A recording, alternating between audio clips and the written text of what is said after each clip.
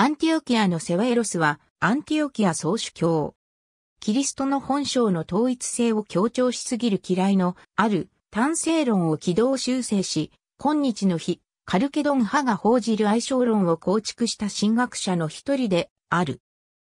今日の日、カルケドン派はしばしば、セベロス的あるいは、言葉の上での単性論派と表現される。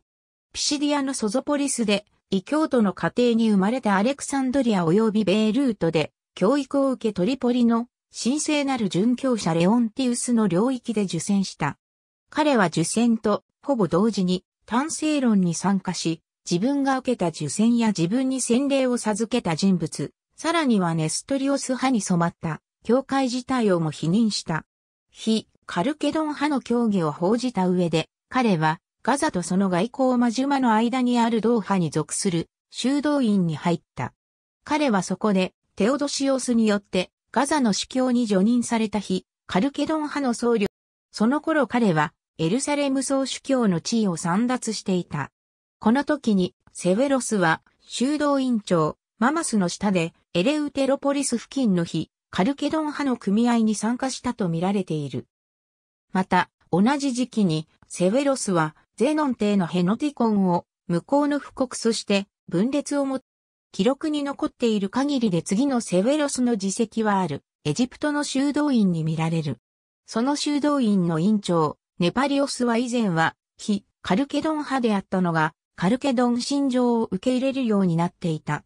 不一致の結果としてネパリオスは他の修道像と結託してセベロス及びその仲間を追放したのである。セベロスはアレクサンドリアの人々の間での恐るべき宗教紛争に巻き込まれ、流血と大化に見舞われたとされる。この暴力沙汰の罰から逃れるため、彼は200人ほどの日、カルケドン派の僧侶の助けを受けつつ、コンスタンティノープルへ逃げ去った。ゼノンの後を継いで491年に即位したアナスタシウス一世は、自らが非カルケドン派だと公言しており、セベロスを敬意を持って迎えた。彼がいたことで、コンスタンティノープルにおいて対立する二つの聖職者、集団、カルケドン派と非カルケドン派の闘争が始まったが、この闘争は511年にアナスタシウスの屈辱、コンスタンティノープル総主教マケドニオス2世の一時的な大勝利、非カルケドン派運動の逆転といった結果に終わる。同じ年にセベロスはアナスタシウスによって空位であったアンティオキア総主教の座にしきりに派遣され、即位の当日になって、教会内でカルケドン派から波紋を厳粛に宣告され、それを回避するために以前は否認したヘノティコンを受け入れさせられた。彼は、リプティクに記されたペトロス・モンゴスの名を授かった。非カルケドン派の高位聖職者、コンスタンティノポリスのティモテオスやアレクサンドリアのヨハネス・ニキオタと共同するようになった。そして、イベリアのペトロや、その他の単性論の指導者たちとも共同するようになった。この頃には、非カルケドン派がキリスト教世界で勝利を収めたように思われた。自身の長老としての地位や皇帝の厚い保護におごり、セベロスは同輩たる高位聖職者たちに手紙を送って、自らの高さを告知して共同することを要求した。これに伴って彼はカルケドン派やキリストの二つの本性を主張する者たちを破門した。多くの人々はこれらを完全に拒否したが、東方においては、どこでも非カルケドン派が優勢であり、当然、セベロスは信仰の擁護者の長とみなされた。ヨハネス・ニキオタとセベロスの間で、教会会議に関する手紙が交わされたが、これはアレクサンドリア総主教とアンティオキア総主教という日、カルケドン派の間で交わされたコミュニケーションの最初の例であり、こういった交流が今日まで続いている。しかしセベロスの大勝利は長くは続かなかった。彼のアンティオキア総主教の地位は、彼のパトロンの皇帝の地位と共に終わった。アナスタシウスの後をカルケドン派を報じるユスティヌス一世が継いだ。非カルケドン派の高位聖職者は皆カルケドン派の公認者にとって変わられたが、セベロスがその最初の例となった。東方の領主エレナイオスが彼を捕らえる役に任じられたが、セベロスはエレナイオスが到着する前に出発し、518年9月のある夜にアレクサンドリアへ向けて出版した。アンティオキアのパウロス一世が彼の後釜に座った。セベロスと彼の教説は複数の教会会議で破門されていたが、アレクサンドリアでは彼は総主教、ティモテオス賛成によって快く迎えられ、彼の同輩の教説家もネストリオス派による破壊からの政党協議の擁護者として商用された。彼の教説、説教によって彼、アレクサンドリアはすぐにあらゆる種類の非カルケドン派の隠れがど。しかし、アレクサンドリアの中で激しい論争によってキリスト論に関する様々な細かい問題が起こり、そのうちの一つにセワエロス及び彼の同輩である、亡命者ハリカルナッソスのユリアノスも巻き込まれた。それは、キリストの復活の前に、彼の人間としての肉体が腐敗し得たかというものであった。ユリアノスと彼の追従者はファンタシアス体及びアプタルトドケタイ、つまり腐敗し得ないという立場を標榜し、セベロスとその追従者は逆にプタルトラトライあるいはコルプティコラエ及びクティストラトライという立場を取った。この論争は白熱して長引いたが決着がつかず、後の東方諸教会はセベロスが勝利したと主張している。エジプトではセベロスが滞在していた時代及びその前後にカルケドン派と非カルケドン派との勢力争いが続けられていたが、これに関して次のような考察がなされている。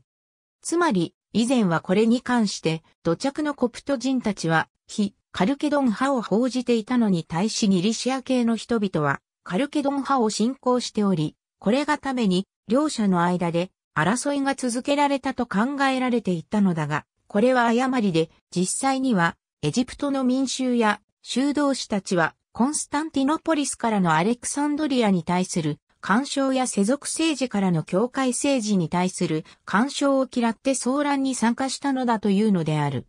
全然段落で述べたように、数年間をエジプトで文化的。これはユスティニアノスのヒテオドラがセワエロスの主張を機に言っていたからであった。一方皇帝は長きにわたる神学的議論から起こされた騒乱に疲労を覚えていた。彼が教えを受けたセウェロスが、非カルケドン派の長であり、彼の影響を通じてのみ、再統一が得られる状況であった。この頃535年に、コンスタンティノポリスのアンティモス一世が、テオドラの影響で、コンスタンティノポリス総主教に就任したばかりであった。彼は、非カルケドン派であり、セベロスや彼の仲間のアパメアのペトロ、ゾアラスと熱心に交流を持った。彼のこうした活動は、非カルケドン派を帝国公認の強説にするためのものであった。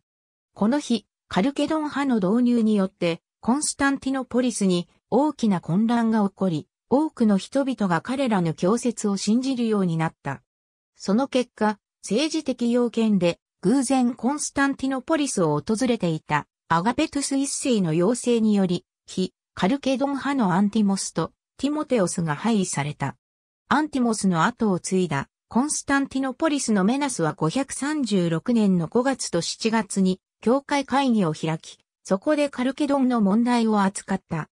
セベロスと彼の二人の仲間は狼として追放され、再び破門された。会議の決定はユスティニアヌスによって採火された。セベロスの著作は禁書とされた。セベロスの著作を持っていて、それを焼き払わなかった者は右手を失うことになった。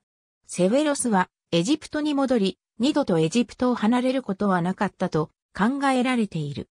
彼が死んだのは538年、539年、542年のいずれかとされる。エフェソスのヨハネスによれば、セベロスはエジプトの砂漠の中で死んだという。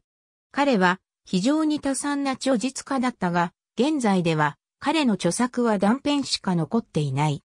それらがセベロスのものと同定された限りで、そういった断片は皆ウィリアム・ケーブとファブリキウスの先週により読める。大部分はシリア語でのみ現存する。セベロスは、非カルケドン派を厳密に定義された心情を持つ一つの集団にまとめ上げるという大きな目的を達成した。非カルケドン派が細分化していたにもかかわらず、彼は厳密に言えば社会の最もよくまとまった部分の学問的指導者であり、非カルケドン派からも敵対者からもそのようにみなされた。彼はカルケドン派との長きにわたる激しい闘争の主たる攻撃対象であり、カルケドン派によって彼は非カルケドン派の著述家にして首謀者と呼ばれた。できるだけたくさんの神学的に毛色の異なる人々を取り込むことを望んで、彼はできる限りきっちりと教会の定式化に従ったが、一方でその定式化に彼独自の要素を付け加えた。セベロスはエクメニオスへの手紙において自身のキリスト論を明らかにしている本来的な所得性、つまりただ一人のキリストを形成する神聖と人間性について語る人々を一旦宣告することは我々にはできない。肉がたとえ神の肉となろうとも、肉は肉として実在するのを止めるのではなく、ことがたとえ理性的で、知性を有する魂を所有する肉と実体として合一されるにしても、元はご自分に特有な本性を破棄されるのではない。むしろ、インマヌエルを形成する二つの本性の本来的な所得性の形のもとに、同一性と同様に相違もまた保持される。肉は、ことの本性に変容させられるのでも、元は肉に変化されるのでもないからである。セベロスはキリストは一つだけの本性を持つと述べるが、以上の手紙に見られるように、神聖と人性という二つの本性の持つ、所得性はすべて、キリストの本性のうちに保存されていると考えていた。ありがとうございます。